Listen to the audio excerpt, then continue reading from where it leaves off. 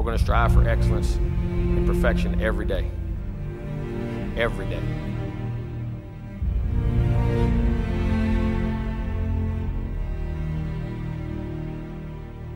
And then the pride. It's the Aggie pride here as I feel it. There's pride in what you do and who you are and what you do as a person.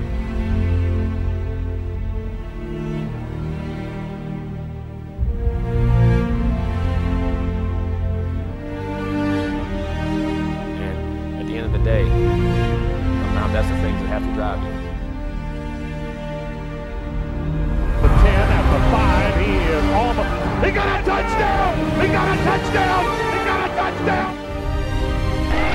First man, ball for Toombs. A&M shocks number two Nebraska. I want you to be proud when you sit in those stands of how they compete, how they play, and how they represent Texas A&M. This is the best student section right here in college football. We're going to have some fun today throughout this whole show. Success doesn't happen by accident. And you either live in vision or you live in circumstance. We want to live in vision. Going down into the end zone. It's Bumgarner.